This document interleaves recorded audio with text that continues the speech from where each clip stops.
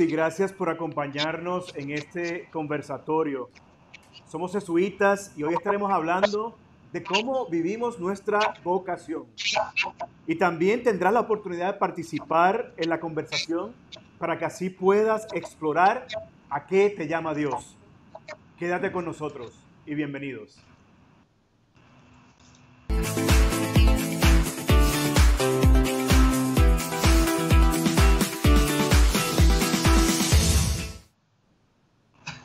Bueno, bienvenidos a este conversatorio vocacional y gracias por acompañarnos. Mi nombre es Orlando Portalatín y soy jesuita y estamos en vivo y a todo color desde San Juan, Puerto Rico y también de la ciudad de San Luis en Missouri. Tenemos unos compañeros que se están conectando con nosotros desde la ciudad de San Luis, así que le damos la más calurosa bienvenida y gracias por acompañarnos durante esta hora que estamos aquí a hablar acerca de nuestra vocación. Pero antes de comenzar formalmente nuestra conversación, ¿por qué no llamamos al Señor para que esté presente entre nosotros en, esta, eh, en este pequeño espacio? Así que hacemos una oración preparatoria en el nombre del Padre y del Hijo y del Espíritu Santo. Amén. Decimos, Señor, vengo ante ti para pasar este tiempo de conversación en tu presencia. Queremos estar contigo. Necesitamos de ti. Danos la gracia de conocerte y también de conocer tu voluntad para nuestras vidas. Te lo pedimos por Jesucristo nuestro Señor.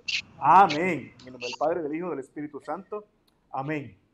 Bueno, como ven, hoy vamos a tener una conversación entre amigos, entre compañeros. Aquí en Puerto Rico habemos cinco compañeros que están con ustedes en vivo. En San Luis tenemos a dos compañeros y yo sé que a través de las redes sociales y a través de Facebook Live hay otros compañeros que también están conectados. Eh, hemos visto que está Brian de Guadalajara, allá en México. Así, Brian, un fuerte saludo de acá de Puerto Rico y de San Luis. Gracias por conectarte con nosotros en este Facebook Live. Y el propósito es tener una conversación de cómo el Señor ha eh, visitado nuestra vida y nos ha ayudado a concientizarnos acerca de cuál es nuestro llamado.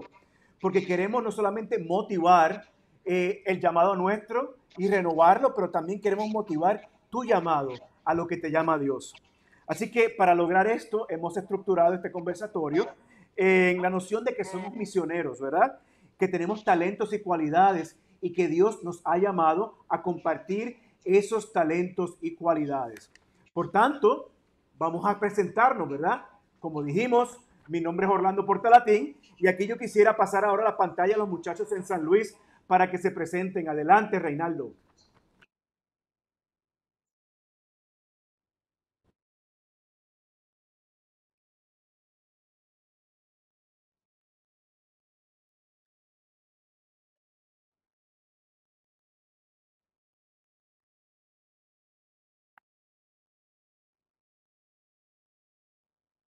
Excelente.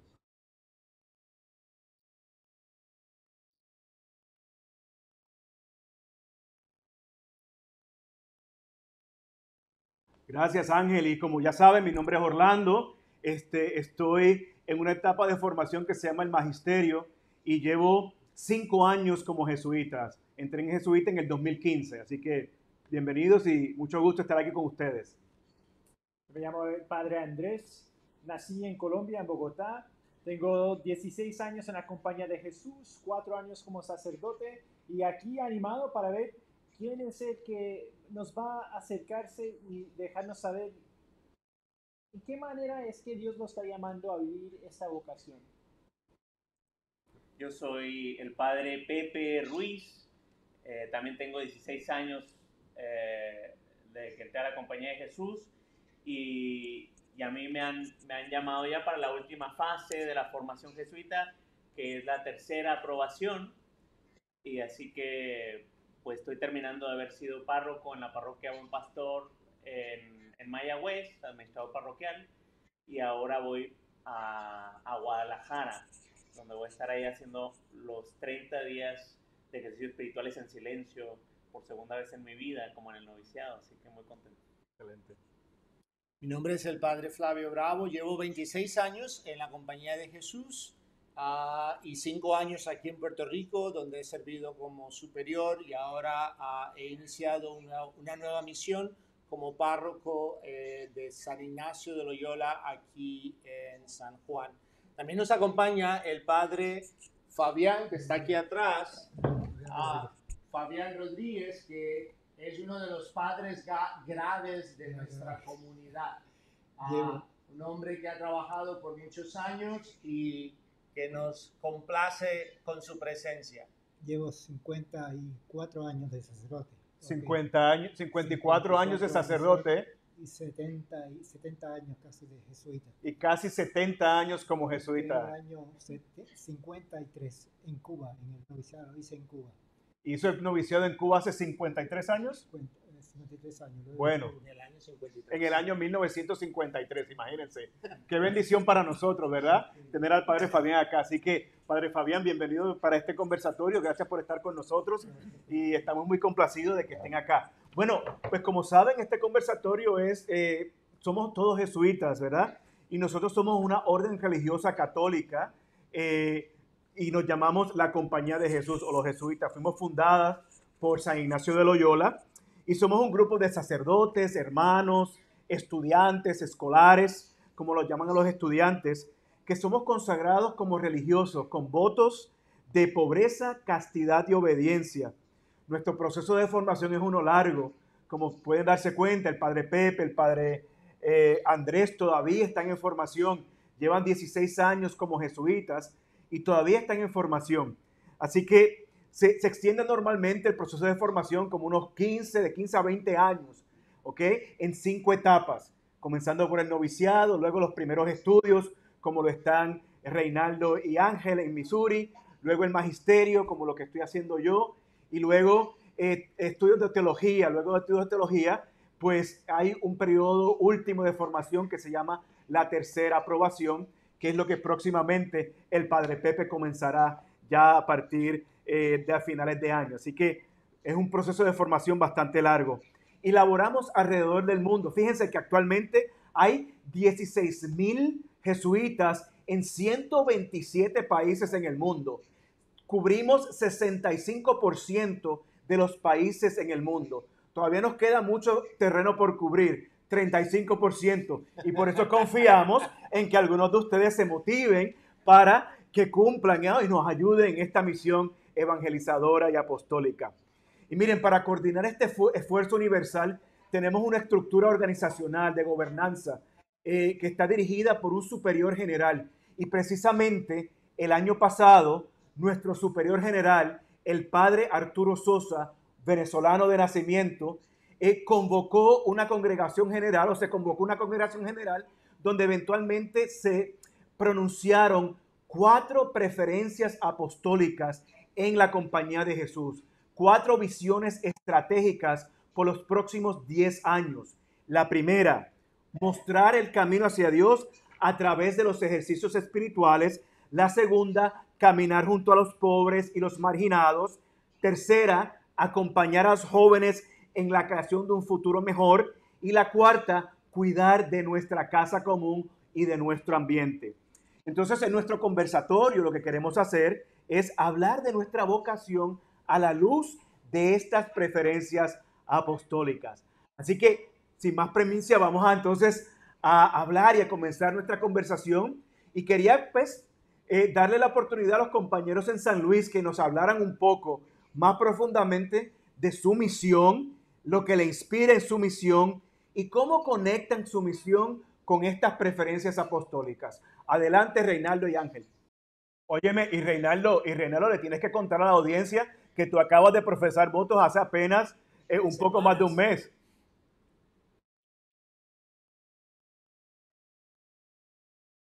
Ah, tres semanas, ok. Espérame, espérame un momento, Reinaldo, que no se escucha, eh, te tenía en mute y me están aquí avisando la gente live, gracias a, a ¿quién nos pudo? Christopher Smith, que nos pone por ahí. Bueno, gracias a Christopher. Thank you, Chris. We appreciate it. Thanks for letting us know. Ah, Muchachos, que repetirlo. muchachos, este, entonces, Reinaldo, nos estabas hablando, ¿verdad? De que acabas de comenzar esta nueva fase de primeros estudios. Cuéntanos un poco cómo fue esa transición del noviciado los primeros estudios y cómo tu misión no se ve a la luz de estas preferencias apostólicas. Sí, pues lo primero, pues, exacto, profesé los, los, ah, los votos el 8 de agosto, hace tres semanas. Súper contento, muy consolado por, por poder confirmar eh, mi vocación al llamado a ser sacerdote dentro de la compañía de Jesús. Y pues mira, la transición eh, fue interesante porque de la manera en que como somos enviados a nuestro, a nuestro lugar para estudiar, es una misión, es decir, nuestros primeros estudios es realmente una misión y nuestra, nuestra misión es estudiar. Y viéndolo desde esta perspectiva, para mí me parece muy importante porque así ya uno tiene en mente que esto es donde Dios me necesita para este momento, para poder equiparme, realmente, equiparme para que eventualmente cuando sea sacerdote y sobre todo cuando profese mis votos finales o mi, mi etapa final del entrenamiento, esté equipado para ir a donde Dios me necesite. Excelente, Eh. excelente, Reinaldo, gracias. Wow. Y, Ángel, cuéntanos, ¿cuál es tu misión? ¿Qué estás haciendo? O sea, ¿hace cuánto tiempo te tomaste votos? Cuéntanos. Claro que sí. Bueno, pues eh, yo hice, eh, tomé votos en el año 2018. Desde entonces estoy aquí en, la casa Bellarmine en San Luis. Um, a, mí también, pues, como a los demás hermanos y escolares, se nos asigna el trabajo de estudiar en este momento.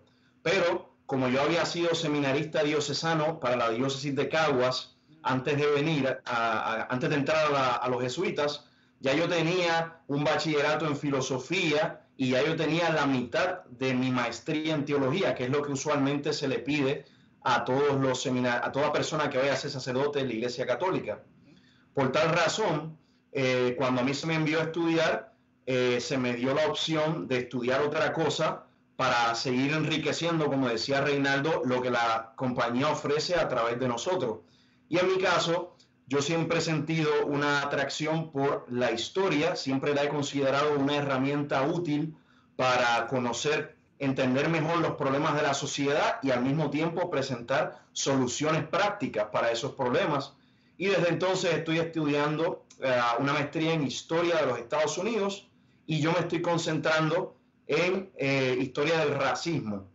Adicional a eso, estoy estudiando un certificado graduado en estudios de género y de la mujer, ya que el racismo y el sexismo están juntos, no van de la mano y pues yo como un cristiano católico comprometido quiero eh, atender a estos problemas desde la fe, pero también desde las herramientas de la ciencia y la filosofía y la historia que, nos- que tenemos hoy en día. Excelente. Ah, Buenísimo, buenísimo.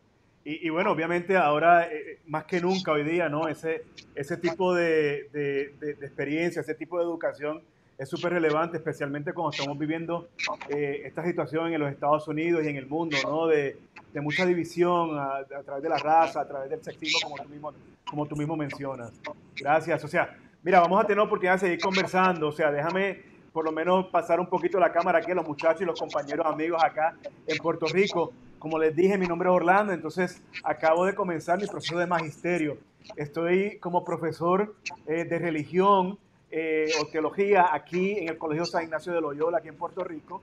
Y, bueno, es una, una asignación excelente, una misión donde puedo estar acompañando a los jóvenes, ¿no?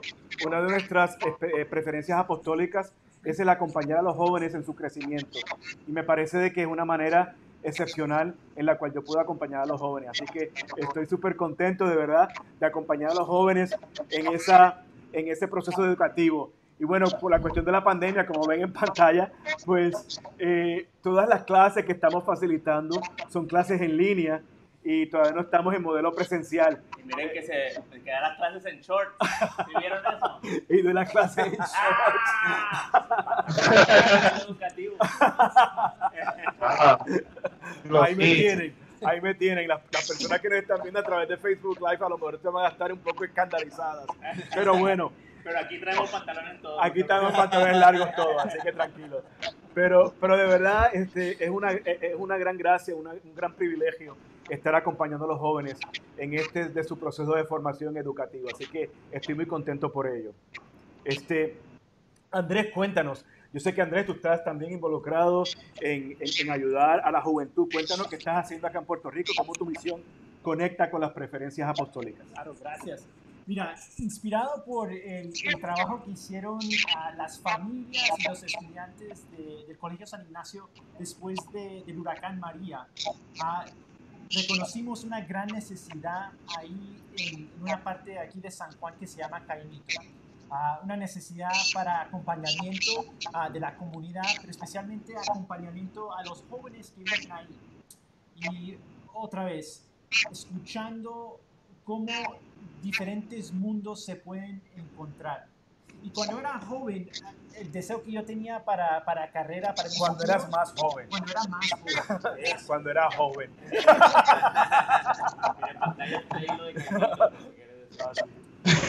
A ver, lo que vi es que es importante tener oportunidades de tener estos encuentros entre los diferentes mundos que, que- que estamos viviendo. El mundo del estudiante que está aquí en los colegios privados, pero también los estudiantes y los jóvenes que están en, ah, en el sistema público aquí de Puerto Rico eh, estudiando. Esos encuentros son lugares donde grupos pueden aprender de los diferentes mundos, encontrar y descubrir la presencia de Dios y cómo uno está enseñando al otro. Y eso yo creo que ha sido una manera de, ver la presencia de Dios, pero más bien a ver cómo es que Dios está inspirando a jóvenes a encontrarse y transformar esta realidad que en verdad necesita cambiar. Gracias, muchas gracias. Entonces, Pepe, tú cuéntanos. Pepe es nuestro productor aquí. Pepe tiene unos talentos impresionantes en la, en la producción de videos, en la producción de todo esto de Facebook Live. Así que gracias, Pepe, por ayudarnos en esta. Están diciendo que no se escucha, Que no se que escucha. no están escuchando. Ah, no están escuchando. Bueno, vamos a ver. que revisen su lado porque vamos a tra- eh, sería de hace mucho ese mensaje. Pues no sé. Mira, no te preocupes. Bueno, La profesora Nice es la que está diciendo que no puede escuchar. ok. Si Sí. hay alguien más que no escuche, nos pone el mensaje. Por ahora parece que es solamente ella. Pero no pueden escuchar, exacto. Así que, bueno, pues entonces, Pepe, cuéntanos un poco acerca de, de tu misión aquí en Puerto Rico o la misión que vas a comenzar próximamente y cómo esta misión está, este, no sé, ligada o conectada con las preferencias apostólicas universales. Sí, sí, pues. eh, como les decía, yo estoy ya en la última parte de, de mi formación. Llevo 16 años como jesuita. En ese tiempo, pues la formación me ha llevado por todos lados. Eh, no he vivido más de tres años en un lugar. he estado en, eh, en Luisiana. En el noviciado me tocó el, el huracán Katrina cuando, Oh, wow. cuando llegamos. Eso fue en el 2005, ¿no? Sí, eh, Wow. fue el año después de que entré, entré en 2004. Después eh, me mandaron a Houston, en Houston me tocó que Flavio era mi superior, eso fue algo muy El bueno. huracán Flavio. El huracán Flavio. Lo que no he tenido aguanta. La tormenta tropical Flavio. Categoría 5. Sí. ¿Quién aguanta a quién, verdad? Eh, y nada, en ese tiempo eh, estuve dando clases como estaba, como estaba, como estaba ahora Orlando. Después me mandaron a, a sacar la teología. en- ah, bueno, primero fue la filosofía antes de eso, luego dar clases en Orlando, luego la teología en Boston, donde me tocó estar, de hecho, con, con Andrés. Otro huracán. Así que he andado por todos lados. Y aquí cuando llegué a Puerto Rico, pues lo que me recibió fue el huracán María. Así que ha sido una tras otra. Eh, pero ha sido algo muy bonito porque mi formación de lo que a mí me, me, da más consolación es cómo mi formación me ha ayudado a acompañar personas. Cuando llegué en el noviciado, yo recordaba darme cuenta que no sabía cómo ayudar a esa gente que había vivido el huracán. Y ahora que llego aquí, al final de toda mi formación, pues sabía escuchar de una manera profunda. Sabía cómo ayudar a alguien a integrar esa, esa experiencia tan dolorosa de situación y, y, hacer que Dios fuera parte de eso, no que Dios no estaba. Así que pues, a mí eso me ha dado mucha, mucha, mucha consolación. Uno de mis grandes llamados siempre ha sido el compartir la espiritualidad ignaciana. Y pues eh, todas estas son cosas que salen de la espiritualidad ignaciana, el acompañamiento, el ayudar a alguien a ver a Dios en su vida, el discernimiento. Y, y nada, últimamente también me ha tocado estar haciendo como mucho ministerio online Ahí, esta, esta, es una introducción que tengo para eh, unas meditaciones guiadas que doy, unas, cosas que estoy dando ahí por internet. Así que, a ver cómo lo quito ahora. Así que pues ha sido como un nuevo ministerio que esta pandemia nos ha sacado. Claro, qué bueno, Pepe. Fíjate, una de las cosas que Pepe estaba mencionando acerca del acompañamiento y, y, y de las cuatro, preferen las cuatro preferencias universales eh, hablan de, de, cómo mostramos el camino hacia Dios, cómo acompañamos, ¿verdad?, al joven, eh, cómo caminamos junto con los pobres, ¿verdad?, y cómo cuidamos de nuestro ambiente. O sea que hay un elemento de, de cuido, un elemento de acompañamiento a todas estas personas y a todas estas eh, compañeros y, colaboradores que, participan con nosotros en nuestra misión. Gracias, Pepe. Padre Flavio Bravo, cuéntanos su misión. Bueno, pues uh, realmente eh, yo encuentro que regresar un poquito a la, a la congregación general anterior, donde uh, se habló específicamente que la comunidad es misión. Entonces yo creo que estas preferencias apostólicas también eh, como que se anclan en la comunidad. O sea, de qué manera nuestras comunidades, mi trabajo ahora mismo es cuidar de esta comunidad, se me ha confiado la parroquia ahora, pues de qué manera yo puedo cuidar a la comunidad, animar a la comunidad, invitar a la comunidad a acompañarles en el proceso de los ministerios, ¿no? A, sirviendo a los pobres, los ejercicios espirituales, a tener una conciencia ecológica, a y pues tener todo ese sentido de, de, de, comunidad, pero también proveyendo los espacios para que la comunidad pueda empoderarse. A los hombres, las mujeres, los jóvenes, los niños, maestros, a administradores, que ellos asuman su, su papel dentro de esta comunidad. Entonces, yo, yo veo que estas preferencias realmente para mí, en mi vocación, me anclan en el cómo yo puedo servir a la comunidad, de qué manera esta comunidad puede crecer. Yo los animo, yo los acompaño, yo estoy aquí con ellos. O sea, yo creo que esa es parte de la misión del, del jesuita. No es tanto el protagonismo, no tanto el, el, siempre tener la última palabra o ser la persona que está en el centro, como estás tú, Ah, sino más bien Fabián está, Fabián en, el está en el centro. Fabián está en el centro. Pero me refiero sí, sí, sí, que claro. evitar el protagonismo y, decir, mira, vamos a, vamos a hacer que otros y otras uh, realicen su misión. Creo que la misión siempre es de Cristo. Nosotros respondemos a esa misión. Es que esa es mi, mi, mi manera de comprender estas preferencias apostólicas. Excelente, Fabio. Yo creo que eso es súper importante porque la misión es de Cristo y cómo nosotros acompañamos a Cristo en la misión que ya está realizando en el mundo. Y, y yo creo que eso es lo que nos inspiró a nosotros, ¿verdad? A, a, a decir sí a este llamado. El hecho de que eh, es, es, una misión que viene de, Cristo, ¿no? De, en tu iglesia. Y nosotros somos meros colaboradores en la misión de Cristo.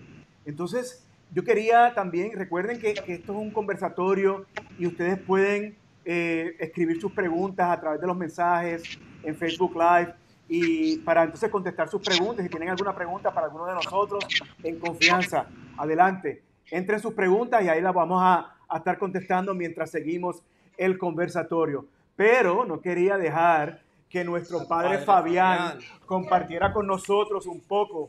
Padre Fabián, lleva casi 70 años como jesuita, ¿no? Sí, Entonces, 50 años. 50, 50 o 70? 50, 50. 50, Ah, bueno. Casi 50. sí. Casi 50. Sí. Perfecto. Cuéntanos de tu misión. ¿Cuál, Bueno. cuál ha sido tu misión?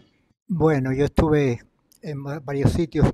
Estuve en Cuba para el noviciado, estuve en Ecuador, Quito, Ecuador, para la filosofía, que era la mejor escuela que había de filosofía. Entonces, magisterio estuve en Santo Domingo y aquí en Puerto Rico.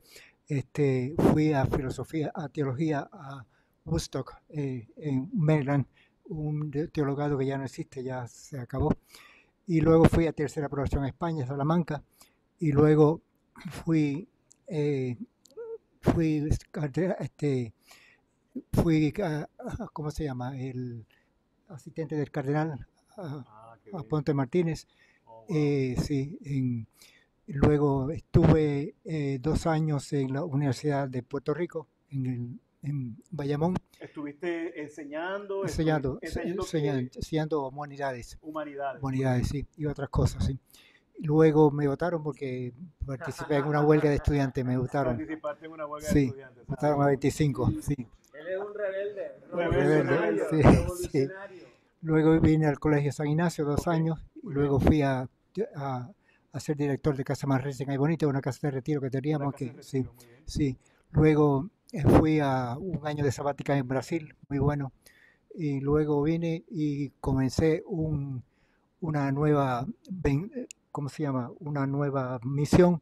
El superior que se llamaba el padre Orlando Torres me pidió que yo me encargara de, de esa misión que era compensar una, un centro de espiritualidad que se llamó. Seipa, ok, muy CEIPA, bien. Espiritualidad Nacional Pedro de Rupe, sí.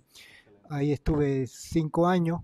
Luego a los cinco años el padre, el padre superior me mandó a, a Mayagüez y estuve ya con, eh, antes de, sí, estuve, tuve cinco años.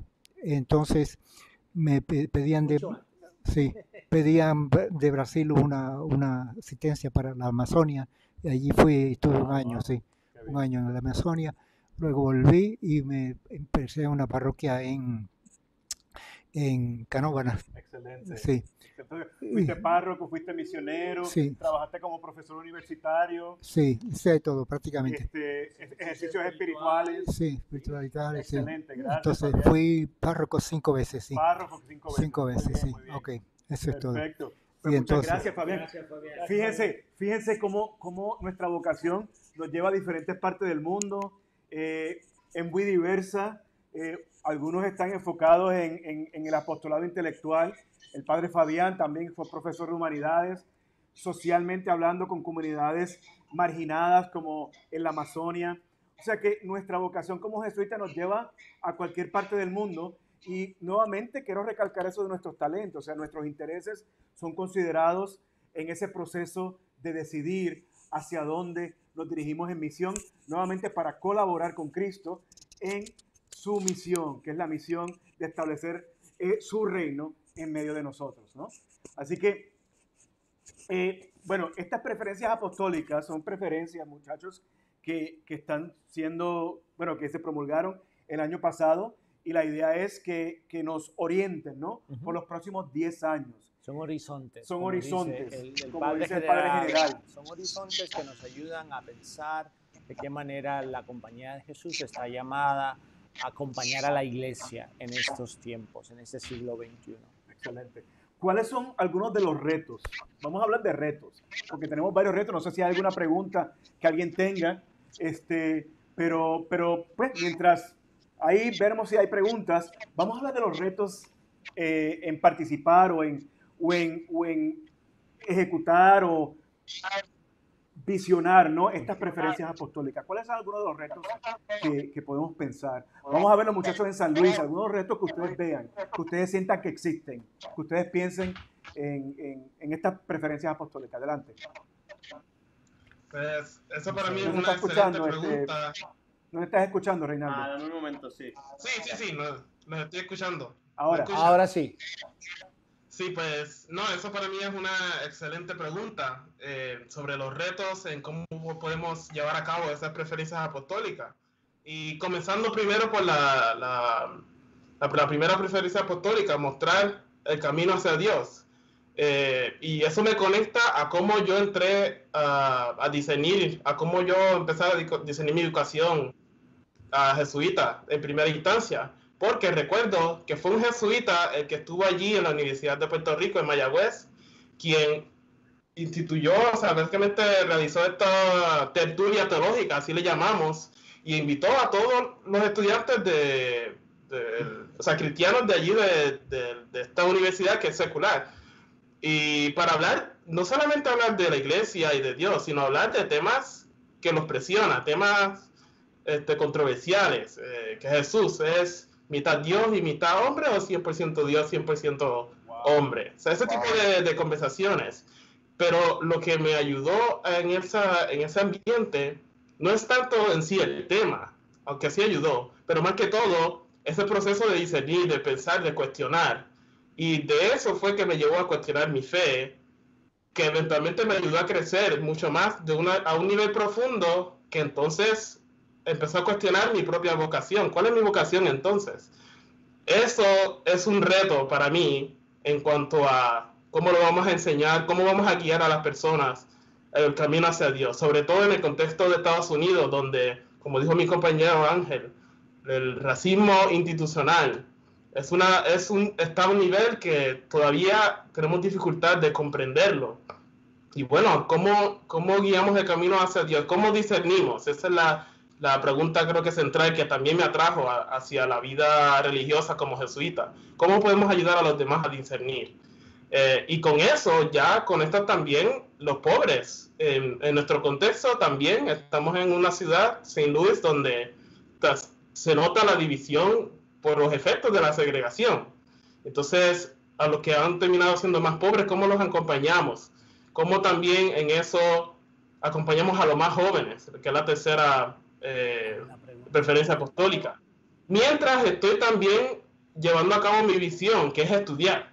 Es decir, estudiar no es simplemente sentarme a leer un libro y ya está, sino que en ese estudio, cómo yo acompaño a, los que están heridos y a, demás la demás población en mi contexto, en nuestro contexto. No sé si tienes algo que, añadir. Sí, yo solo añado, yo solo añado a eso, este, en mi caso, yo me concentro en, dos, eh, en dos de las cuatro prioridades para, para, para fines de este conversatorio. Yo, como, yo me pregunto cómo yo entré a la iglesia, por qué yo permanezco en la iglesia, qué fue lo que a mí me interesó de la vida religiosa y específicamente de los jesuitas. Pues mira, eh, yo era un chamaco, un estudiante de la UPI, que mi fe me llevaba a cuestionar los problemas de la sociedad. ¿Por qué hay tanta injusticia en Puerto Rico? ¿Por qué nuestra situación política desigual, etcétera?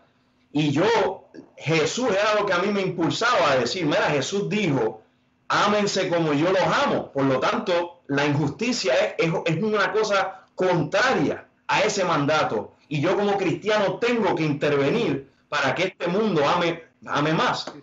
Entonces, entonces, ese fue, es precisamente mi fe y mi experiencia de pastoral juvenil lo que me lleva a permanecer en la iglesia y a dar esta respuesta.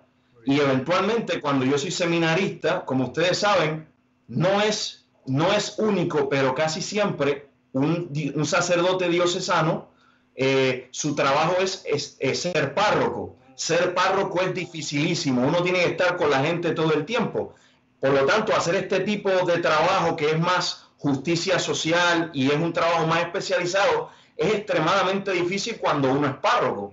Y cuando yo estaba de seminarista trabajando en varias de las parroquias, yo me decía, mira, esto es excelente, yo siento que Dios me está llamando a ser sacerdote, pero yo me siento también llamado a hacer un trabajo de justicia social que yo entiendo este, este estilo de vida no me permite vivir. Ahí es que yo me adentro más a los jesuitas y cuando los jesuitas empiezan a explicar que precisamente ellos se ven a sí mismos como sacerdotes misioneros que utilizan la espiritualidad de San Ignacio para luchar por la justicia en el mundo como cristianos. Yo dije, mira, este es mi espacio. Entonces, dando ese resumen, yo identifico eh, un, un obstáculo bien importante que, en mi opinión, tenemos. Las preferencias dicen que tenemos que concentrarnos en los jóvenes y acompañar a los oprimidos. pero una de las cosas que yo observo, siendo joven todavía, y en otros jóvenes que yo conozco, es que últimamente es, están viendo a la iglesia no como una herramienta precisamente de construir un mundo mejor, donde nos amemos como Dios nos amemos, sino que están empezando a ver a la iglesia cada vez más y más y más como un instrumento de, de como otro instrumento más de no hacer nada por el mundo, de no luchar por la justicia, como otra institución más que se queda de brazos cruzados, predicando a un Jesús a quien el mundo no le importa, que es indiferente. O sea, que estamos, Entonces, estamos lidiando con unas fuerzas seculares, ¿no? O sea, la, dificultad secular y, y cómo estas fuerzas seculares obviamente pues intervienen en nuestra capacidad de presentar a un Jesús que es, ama, que es amor y cómo presentar este amor que, que es justicia también. Así que y no solamente secular, porque ese es el problema, que nosotros también religiosos cometemos a veces la misma barbarie. Para mí eso es uno de los problemas más grandes que tenemos y por eso es que tenemos que seguir predicando a un Jesús que quiere entrar al mundo y liberar al mundo de la injusticia, venga de donde venga. Para mí eso solamente va a contribuir a que más jóvenes participen de la iglesia en vez de vernos como más gente que, que no le importa el mundo y que es indiferente. Estabas diciendo, a mí me recuerda también como hay este ataque de fuera fuerte hacia la iglesia, también el llamado de Aparecida a una conversión pastoral, ¿no? que es un llamado a todo sacerdote, a todo religioso, a todo laico, a, hacer que nuestra fe vaya a lo, a lo profundo, ¿no? a que vaya a la raíz y que eso es parte, lo que son los profetas, y que entra y sale. Eh, de denunciar la injusticia, todas estas cosas que estás hablando, y de traer a ayudar a la gente a sacar las herramientas, por ejemplo, para mí desde la espiritualidad, de la oración, que tanta gente que, que se pierde tanto. Entonces, eh, eh, pues sí.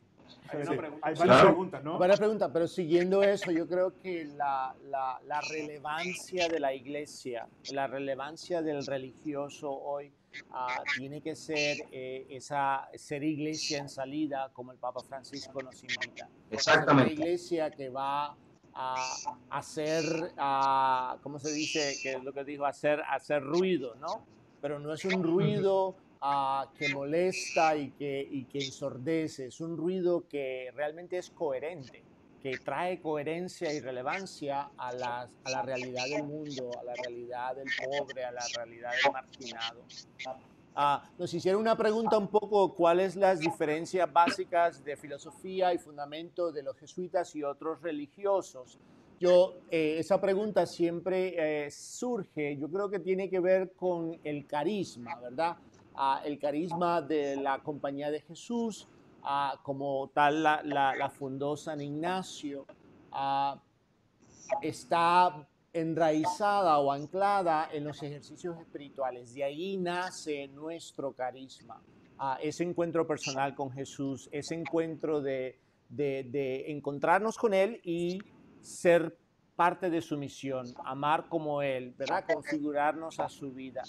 Ah, entonces, yo creo que el carisma de la compañía de Jesús es bien amplio, no es, no es sencillamente a los franciscanos o los dominicos o los redentoristas, ¿verdad? No conozco todo el carisma de cada estas, de estas otras órdenes religiosas, pero yo creo que tiene que ver también con la personalidad del fundador. Y Ignacio era un, gran soñador. Ignacio era un hombre que, que se propuso grandes cosas y que quería ah, pues la mayor gloria de Dios. Y entonces esa parte de su personalidad afecta o ha afectado por siglos nuestro carisma, a nuestro deseo de ser como Jesús, amar como Jesús en los contextos que nos tocan. Nos preguntan que si somos más progresistas. Ah, yo no sé si sería, sería bueno decir que seamos más progresistas o no, ah, porque yo creo que dentro de la compañía de Jesús hay una amplia gama de, de, de maneras de ser jesuitas. Yo yo no creo en esos ah, etiquetas de que si uno es conservador y el otro es progresista o liberal. Yo creo que la compañía de Jesús, la relevancia de la compañía de Jesús no depende de esas etiquetas de liberal o conservador. Ah, yo creo que es más bien eh, el Evangelio. los ejercicios espirituales encarnados en los contextos donde estamos viviendo y trabajando. ¿no? Y ser colaboradores de Jesús en, en- en- en su reino, ¿no? Aquí en la tierra, ¿no? Ser- ayudar en, en la promoción de ese reino de Dios en, en medio de nosotros, ¿no? Me gustaría decir algo también de esta pregunta. Eh, pues es una pregunta también muy común que, que yo he encontrado.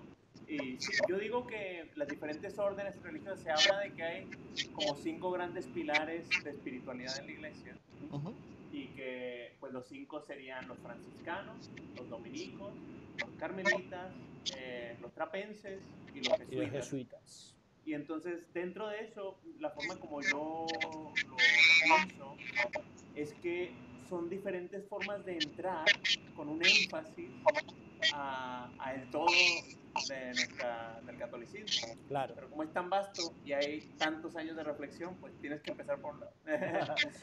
y entonces, eh, digo que los franciscanos tienen ciertos énfasis muy fuertes, por ejemplo, en la, en la vida de la pobreza, en la conexión con la naturaleza, diferentes cosas por ahí. Los dominicos, pues, tienen mucho esto el tema de la predicación. Los, eh, Los benedictinos. de, de- Vida de monástica. clausura, ¿no? Y son como grandes familias. Eh, y entonces los jesuitas, así de los grandes énfasis que yo veo, eh, pues tiene que ver, como decía Flavio, con el fundador y los ejercicios espirituales. Eh, cosas que hay ahí que normalmente nos destacan, pues es el tema del discernimiento, por un lado, eh, que San Ignacio compila todo lo que hay hasta la, la fecha y lo pone todo junto y se vuelve una cosa muy importante para los jesuitas. Por eso somos directores espirituales, por eso otra cosa Contemplativo de la acción. eh, bueno, eso me encanta. Exacto. Contemplativo selección, sí, gracias. Eh, y, y yo creo que un elemento que a veces la gente no reconoce, debido a esto, que somos contemplativos en acción, encontrando a Dios en todas las cosas, y que somos este tema del discernimiento, es que nos metemos mucho a la reflexión y al estudio. A veces nos conocen por, por la formación tan larga que tenemos. Creo que somos la formación más larga en la iglesia. Yo llevo 16 años y todavía no termino. Y entonces eh, yo creo que San Ignacio veía la renovación de la iglesia a través de una buena formación de los sacerdotes. Ujú, Yo Correcto. creo que eso es lo que a veces nos pone en posiciones, que es parte de nuestro carisma también, de ir a lugares donde otros no pueden ir. Tenemos una formación a veces muy especializada. Yo tengo, además de la formación regular de sacerdote, una maestría en dirección espiritual, una maestría en, en espiritualidad ignaciana y o el doctorado de eso. Pues eh, ya parece ridículo, ¿no? Hasta para mí. Pero, ¿qué es? Pues especializarme en algo, entender mucho, muy bien algo El para mundo. poder ayudar. Y entonces eso pues me permite a mí entrar en ambientes que otra gente pues no puede. Y, y eso a veces pues nos pone en, en límites de la teología, en lugares nuevos. donde Nos lleva a fronteras, estado. a nuevas fronteras. Sí, y entonces a veces eso pues nos llama a ciertos jesuitas a decir, este, desde el amor a la iglesia misma, eh, a decirle a la iglesia, mira, tenemos que reflexionar en esto, y eso a veces nos podemos quedar en, en una cosa que a veces quedamos bien, a veces no. Y hay otros jesuitas que desde el estudio también dicen, hey, se están yendo muy lejos, vamos Exacto. por acá, no, no- no nos podemos desviar, esto también es importante, y hay un balance yo creo que muy bueno, no sé, algo más ahí. Excelente. Había otra pregunta ahí, no sé si quieres. Sí, ah, hay una pregunta ahí acerca de alguno que, que esté escuchando esta, esta conversación, ¿cierto? ¿Cierto? Ah, acerca de algunas herramientas que puedan tener en este momento, algunas preguntas que pueden hacerse en este momento de, de- de seguimiento. Yo diría que, como, como San Ignacio pone tanto énfasis en el deseo, ¿qué son, qué son esos deseos profundos que, que uno tiene? ¿Qué es lo que te apasiona? ¿Cierto? ¿Qué es lo que te apasiona? Y cuando encuentres esa respuesta, ¿qué es lo que te apasiona? ¿En qué manera te va a fortalecer tu relación con Dios? ¿En qué manera te va a ayudar a, a fortalecer, pero también a profundizar esa relación con Dios? ¿Y en qué manera te va a ayudar a reconocer esa presencia de Dios en, en tu vida? ¿Qué es lo que te apasiona? ¿Cómo lo puedes ver? ¿Cómo puedes profundizar tu relación con Dios? Serían algunas buenas maneras de, de- de ver cómo es que Dios piensa que te está llamando a una vida religiosa. Creo- yo creo que son excelentes preguntas que todos tenemos, pero que también necesitamos a, a alguien que nos escuche. un- buscar un director espiritual, alguien que nos pueda ah, ayudar a discernir esos deseos y esas preguntas. Ah, yo creo que para, para todos nosotros el tener a alguien que nos acompañe espiritualmente, eh, discerniendo nuestros deseos y nuestras pasiones, entonces podemos decir, ah, no, esto, esto realmente es mi vocación, eso es lo que yo quiero ser. Inclusive, Flavio, nosotros como jesuitas tenemos directores espirituales, ¿no? Exacto. O sea, nos reunimos regularmente, nos, nos re- nos reunimos regularmente con siéntate. directores espirituales y, y que nos guían, que nos dan orientación y que, y que ayudan, nos ayudan a, a- a seguir escuchando esa voz de Dios. Porque esa voz de Dios de buenas a primeras no, no, no- no- no termina, ¿no? Eh, esa voz de Dios sigue, sigue hablándonos, ¿no? Y, y nosotros tenemos que tener la disposición de seguir conformándonos a cómo Dios nos habla y cómo Dios nos está invitando a un continuo, una continua renovación de nuestra propia vocación. Ujú. Yo, yo por ahí, eh, pensando que esta podía ser una posible pregunta, eh, tengo un videíto que tal vez para darle seguimiento a esto eh, lo vamos a publicar después de esta sesión y lo vamos a poner aquí en la, en la, en la página de la parroquia, que es todo el proceso que San Ignacio tiene, que es bastante involucrado para ayudar a alguien a hacer un buen discernimiento. Está dentro de los ejercicios espirituales. Claro, yo les recomiendo a todos que hagan los ejercicios espirituales porque ahí es donde sale todo esto, ¿no? Pero si los hacen y, y, pues llevar al director a preguntarle esta, eh, esta, esta herramienta de San Ignacio de cómo discernir la vocación, cómo tomar una decisión. Y pues para los que no tienen acceso, pues vamos a sacar eso de los ejercicios y, y lo voy a poner eh, ahí en la, en la página un video que se pueda- Otra cosa que yo quería también anticipando un poco la conversación de, de- de nuestra, de lo que nos apasiona, lo que nos inspira. ah, yo creo que volviendo al sentido de comunidad, ah, escuchar ah, y acompañar al hermano con quienes vivimos en los contextos, ah, por lo menos me ayudan a mí, ¿no? A veces me preguntan qué, qué difícil es ser sacerdote. Ah, yo creo que uno de los retos es, en este momento de la pandemia, qué difícil es ah, acompañar a un pueblo con distanciamiento social, ¿verdad? Qué difícil es entrar a la parroquia y no poder ah, saludar a las personas con la, con la misma efusión que uno siempre tiene, ¿no? O escuchar las confesiones o celebrar los sacramentos, o sea, tam- las dificultades y retos de, de ser comunidad en estos tiempos de pandemia. Ah, yo creo que e- eso es importante también considerarlo en la comunidad, en las familias, ah, en la manera en que nosotros nos escuchamos en estos precisos momentos. Bueno, excelente, ha sido una conversación maravillosa. Este, no sé si tienen algunas preguntas, tenemos unos cinco minutos más Cinco minutos más. para entretener preguntas y luego pues terminamos con una oración y, y- y bueno, pero, pero pueden comentar a, a través de los, de los, de los mensajes, de los comentarios, si tienen alguna pregunta y ahí podemos este, entretener sus preguntas. En lo que aparece, Si No. nos quieren contactar. Mira, nos, falta- nos está hablando Ángel. Ángel, adelante. no sé si, no sé si Fabián va a decir algo, pero en lo que, en lo que aparece una pregunta, para seguir indagando en qué diferencia a los jesuitas de todos los demás, yo por lo menos cuando, cuando yo estaba haciendo el discernimiento, cuando ya yo identifico, cuando ya yo identifico, mira, yo creo que Dios me está llamando a la vida religiosa y no a la diocesana. Cuando yo hago ese clic, la siguiente pregunta es ¿a cuál orden? Yo tengo un montón de amistades que son franciscanas. Yo estoy estudiando teología en una eh, escuela dominica eh, en la central de Bayamón. Entonces, ¿qué hago? Pero me gusta San Ignacio. Para mí, la última clave que hizo la diferencia fue que como los jesuitas se entienden y se explican, explican su vocación, el énfasis no, no es no únicamente, porque como escuchamos, pues siempre el punto de partida pues es Jesús, los ejercicios espirituales, la vida de San Ignacio, etcétera. Pero para mí el factor determinante fue la, misi- eh, la vida misionera, el entendimiento del jesuita como un misionero. Y no solamente el aspecto misionero de ir a donde sea, porque otras órdenes religiosas tienen también ese entendimiento misionero de ir a donde nos envíen.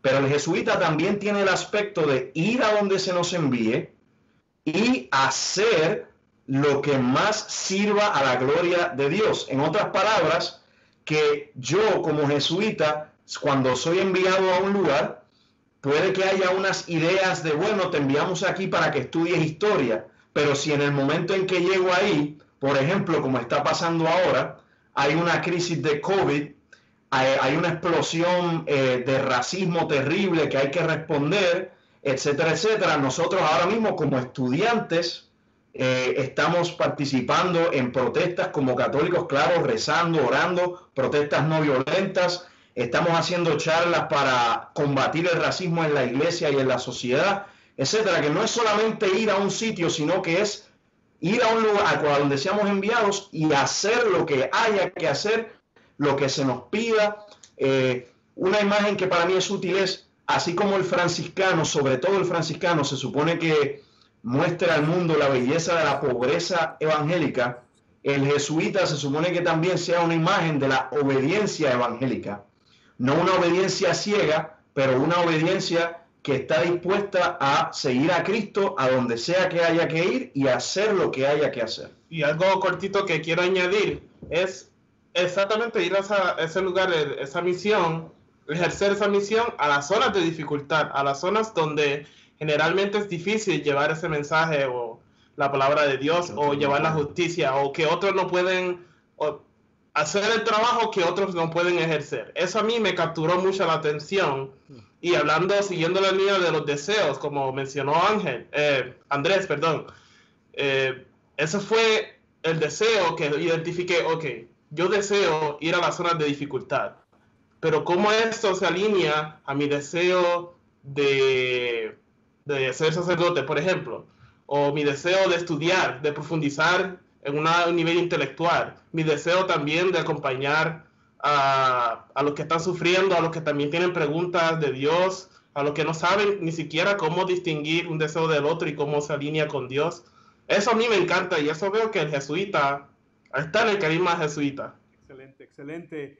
Eh, a Reinaldo, gracias y Ángel, muchas gracias por, por su contribución. Y yo creo que de eso es que se trata, ¿no? ¿A qué me llama Dios? Precisamente esa fue la razón que hemos tenido este conversatorio durante el día de hoy para reflexionar a qué nos está llamando Dios y cómo podemos escuchar esa voz de Dios. Queremos exhortar los últimos minutos que nos quedan, queremos exhortar a todos los compañeros y compañeras que nos están viendo. Si tienen alguna otra pregunta, si se quieren contactar con nosotros, por favor, escríbanos a la página ¿no? de la parroquia San Ignacio de Loyola, escriba su mensaje, díganos, mire, estuve conversando, estuve participando del conversatorio y que tengo esta pregunta, eh, quiero conectarme eh, con alguno de los jesuitas para hablar un poco más de la vocación. Estamos aquí para servirles, estamos aquí para ayudarles y estamos aquí para acompañarlos una, tenemos básicamente unos dos minutos más. Entonces, una última exhortación, Padre Flavio. una última exhortación. Pues involúcrense y, e inviten a, sus familias y a sus jóvenes. Todos nosotros tenemos acceso a la juventud. Todos nosotros trabajamos de alguna manera con jóvenes en nuestras familias, en nuestras parroquias, en nuestras comunidades. Yo creo que siempre es bueno hacer esa pregunta. ¿Alguna vez lo has considerado? ¿Has considerado ser religioso, ser un sacerdote, ser una religiosa? Yo creo que no debemos de tener miedo de hacer esa pregunta, porque los jóvenes, por lo menos en mi experiencia, en nuestra experiencia, siempre tienen esa pregunta, siempre tienen ese cuestionamiento. Y es halagador cuando alguien te pregunta como joven y te dice, mira, yo te veo que tienes realmente un potencial y que puedes ser religioso y que puedes ser jesuita. Así que nunca dudemos de hacer esa pregunta, de hacer esa invitación, por lo menos para animar eh, la vocación. Yo creo que ah, les invito y les exhorto a que animen en sus familias y en sus comunidades a animar la vocación, realmente levantar eh, esos ánimos de los jóvenes, porque sí tienen mucho que ofrecer. Excelente. Entonces los muchachos en San Luis, ¿alguna exhortación final a los compañeros y compañeras que nos están escuchando a través de Facebook Live. Adelante. Bueno, yo solamente terminaría. Recuerden que nosotros hacemos lo que hacemos porque por el Jesús en el que creemos. Jesús no te llama a quedarte en la grada viendo el juego, eh, siendo indiferente y o solamente quejándote de lo que está pasando. Jesús te llama a entrar a la cancha, a, hacer tu contribución. Eres bautizado, eres bautizada, somos la iglesia, por lo tanto la iglesia será lo que nosotros seamos. Así que si tú sientes que Dios te está llamando a hacer algo especial, a entrar a la vida religiosa, como decía Flavio, pide la gracia de ser valiente y zúmbate. Amén. Amén, amén, excelente. Muchas gracias compañeros de San Luis, muchas gracias por compartir con nosotros y hermanos y hermanas que nos están escuchando a través de Facebook Live, pues gracias nuevamente por estar con nosotros en este conversatorio y comenzamos este conversatorio con una oración. Así que lo vamos a terminar también con una oración. Y esta oración es una oración especial, especialmente en los círculos de la Compañía de Jesús de los Jesuitas. Es la oración de entrega, lo que le llaman el sushipe. Así que próximamente ahí le vamos a poner el sushipe para que oren con nosotros. Nuevamente, compañeros, compañeras, amigos y amigas que nos escuchan a través de Facebook Live, muchísimas gracias por compartir con nosotros y que Dios les bendiga. En el nombre del Padre, y del Hijo, y del Espíritu Santo. Amén. Decimos, toma Señor y recibe toda mi libertad, mi memoria, mi entendimiento y toda mi voluntad, todo mi haber y mi poseer. Tú me lo diste a Dispón de ellos según tu voluntad. Dame tu amor y gracia, que eso me basta. Amén. San Ignacio de Loyola, ruega por nosotros.